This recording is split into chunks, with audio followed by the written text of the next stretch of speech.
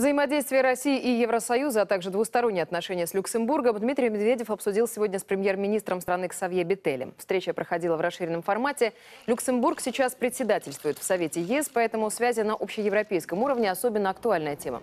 Среди других вопросов – взаимный товарооборот, инвестиции, сотрудничество в сфере высоких технологий, транспорте, логистике. По словам Медведева, у России и Люксембурга богатая история взаимоотношений, но сейчас они требуют повышенного внимания.